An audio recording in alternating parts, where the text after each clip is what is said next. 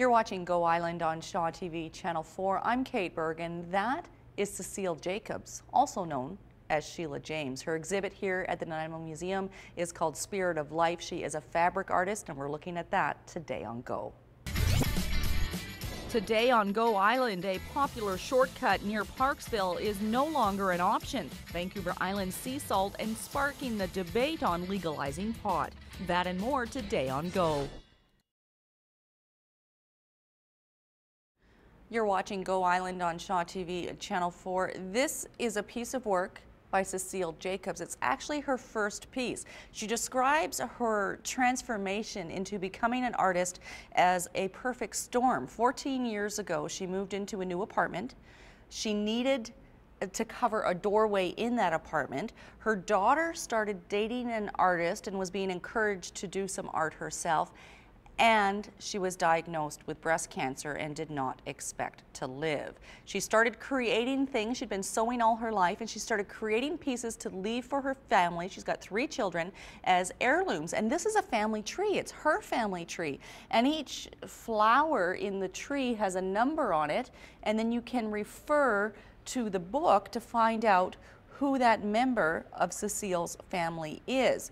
Now, if you happen to be a member of Cecile's family or a friend, you might not know that we're talking about Sheila James. Cecile Jacobs is Sheila James, and we'll talk about we'll talk more about that and her work later on this edition of Go. In the meantime, we are throwing things down to Nikki Iwanishin in Victoria.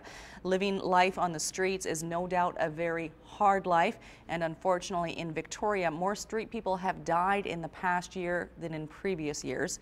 Nikki Iwanishin has that story. But before we head down there to Victoria, a popular logging road off Highway 19 was a popular shortcut for people, but now that road has been closed. Here's Annette Lucas.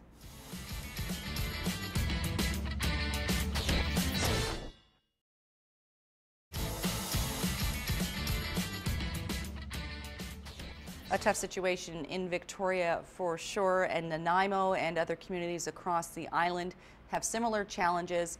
And what we can do is to reach out and help and acknowledge that not everybody is as blessed as others and what they can take for granted in their everyday life. You are watching Go Island on Shaw TV Channel 4. This is Cecile Jacobs. Or is it? Now, your your real name is Sheila James. Yes. Tell me about how the, the two names came to be. Okay.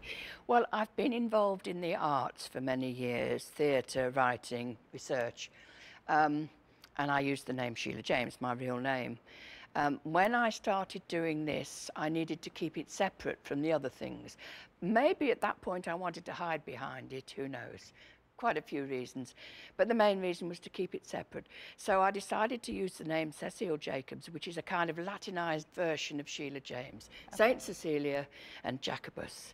And then your work became more popular than you had expected yeah. it to be, and now you can't even shake that name yeah. if you wanted so to. So by then I was stuck with the name. I've been trying to ditch Cecile for the last year, but uh, I don't know uh, she, if I believe she's that, stuck. to be honest. She's stuck, but at least now I'm out of the closet, so. so we can call you Sheila. Sheila. Sheila. Um, and Sheila, Cecile, has an exhibit here at the museum in downtown Nanaimo. It's called Spirit of Life. And this is one of the pieces. It's absolutely beautiful. Uh, it's a triptych and it tells a story from a very personal experience. You were diagnosed with cancer. You didn't think you were going to live, but here you are. Yes, this was, uh, this was done about seven years after I had cancer. Um, and in the year or so before, I had been involved with the Okanagan fires of 2003. Um, I was there at the time it started, and I was there afterwards, and I went back a year later and saw how everything was building up to be as good as, as ever. And I realized that there was a parallel in that between that and my life. So I decided to do this triptych to show that life might be wonderful at the beginning, but there is always the seed of destruction. Mm. Here we have devastation, total devastation. The same scene, as you can see, it's exactly the same, all three. Um, but after devastation, not, do, not only do we just have regeneration, we have proliferation. So everything is, can be even better after devastation than it was before. We can also take the example of uh, land that has been devastated by a volcano, where the land is more fertile afterwards. Um, And this is a metaphor for you because you feel more whole, more complete after Um, your cancer? I wouldn't quite say that, but it, it opened up a whole new aspect of my life. So that after 14 years, I can actually say with truth that I'm glad it happened to me because of all the rich things that came out of it. So that I, I did this also as a message to other people, people who perhaps have been uh, recently diagnosed with cancer, whatever kind, um, as a message that life is not over and life, whatever happens, good things come out of it. Good things come out of bad things, and things can be even better afterwards than they were before.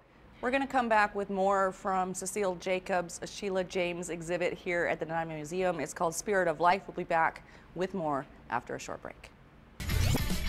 Still ahead today on Go, Vancouver Island boasts its very own salt. David Lenham's top 10 and the controversy of legalizing marijuana. That's still ahead on Go.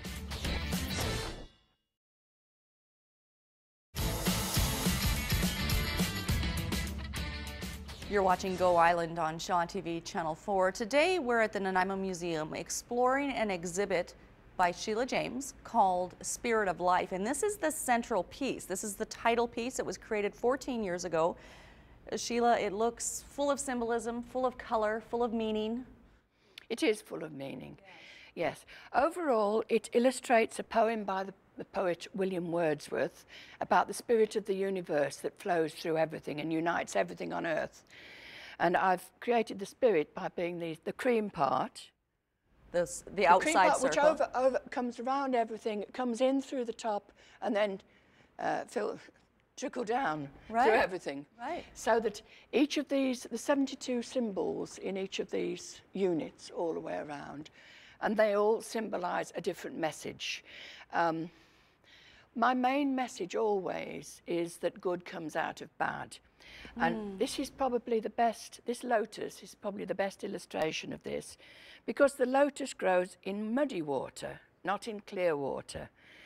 Um, so something beautiful comes out of something ugly. Um, so the spirit surrounds everything and it c- collects in the middle as the, the yin yang, the perfect balance. You so- surprised yourself in becoming an artist. Absolutely, You, yes. You were always a, a sewer, yes, a craftsperson. yes. You're a full-on artist now, I am, yeah, and you have a mission, yes. a, a few missions. Yes, a few missions. Yes, I was a craftsperson. I did crochet. I made my own clothes. I did some embroidery, but I still to this day don't regard myself as an expert embroiderer. But I like a bit of all kinds of media. So um, it surprised me to discover that I had crossed that line between craftsperson and artist, in that I was now creating uh, images with messages, but above all, original pieces. And I'd like other people to have the confidence to learn to step outside the box and do their own original work because people can do it, but they don't think they can do it. Now, each one of the pieces I have done has been a challenge in itself. And I just have to tell myself at the beginning, yes, I can do it. Yes, I can. And, And- have a strong enough conviction of the Yes. message that you feel you're Yes, wanting to convey. That's right. It's the passion of the message that I need to convey which keeps me going. So with each new piece that I complete, it gives me more confidence to do the next one and to consider the next challenge. We're going to look at another piece when we come back on this edition of Go Island, and we're just touching the surface of the work that is here, and we encourage you to come on down to the museum and check it out for yourself. All of the symbols that are, are featured in this central piece, Spirit of Life, are listed here, so you can see what they all are, and they're well laid out for you um, by Sheila and the museum. We'll be back with more on this edition of Go. We're going to throw things over now to Karen Elgersma. We've got an abundance of fresh food here on Vancouver Island. Did you know that we have our own salt? We do.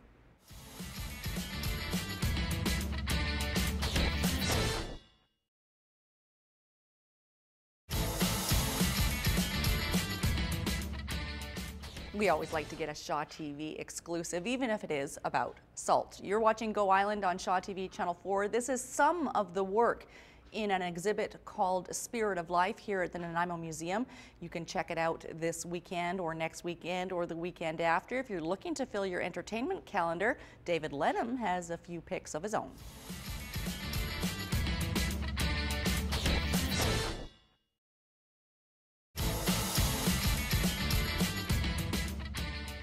You're watching Go Island on Shaw TV Channel 4. We're in the Nanaimo Museum looking at ex an exhibit by Sheila James, Cecile Jacobs, uh, called Spirit of Life. And this is a series that's called the Harmony Series, The Hand of God in Asia. Sheila has traveled extensively, gains her inspiration from different cultures, different parts of the world, and I'm kind of ad-libbing now, assuming that that's the case. Yes, absolutely. I lived recently three years in Asia, traveling, constantly traveling, covered 22 countries. Um, and it couldn't fail to be an inspiration. What inspired me the most was the harmony between the religions of Asia and the nature, the natural elements of Asia. Um, and I, so I've, I've captured all that in this whole series, different elements of being in Asia and the, the hand of God with nature and with man's temples, etc. This one is an Islamic portiere. When I first visited Kuala Lumpur, I was blown away by the Islamic architecture and culture there. And uh, I felt I had to do one of these as a, as a, a homage to that. Um, you can spend, I can spend a long time looking at your pieces because every time I look, I'm, I'm seeing something new in it. These flowers that are at the bottom. Yes, yes. And these are things that I, new techniques that I had to learn. I try to learn as many new techniques as I can. I file them away because I never know when I'm going to use them. So the idea for me, it's multimedia because the message is the important thing and, and what then, is the message in this one? Um, the message, it's an overall, it's an overall uh, homage to nature and Islamic culture okay. within it. Um, but along the way, this one took me nine whole, this central piece, which is separate from the outer piece, took me nine months to do because I had to learn various new techniques in order to complete it. So this was a new challenge in a different way. Mm. Um, so I had, I had to learn how to make flowers like that. I had to learn a different style of embroidery to do this. I had to learn about perspective, which I didn't know. That's one thing I really picked up. Um, Sheila yeah. had shared with us that she can't draw a cat or a dog, and then you look at the at the grasp of perspective that you have here, and that's actually hard to believe. But it's quite mathematical, though. right. Rather than the actual, the act of drawing something natural, Something like that is a mathematical process. Um, even then, I'm sure a, a, um, a, trained artist would probably pick faults in it, but I do my best. How do you feel about people touching your work? No, they shouldn't because okay. One person is okay, but then if you multiply that, right. it, uh, it would damage it. It would, it would uh, layer layer of grief. Well, I will admit that I've already gone through and actually touched a few of your pieces, but it's just me and I, I won't do it again. We're going to throw things over now to this week in BC. The Stephen Harper government is looking, uh, there's a lot of mayors, I should say, in British Columbia that want to legalize marijuana, but apparently the Stephen Harper government is going to kill their butts.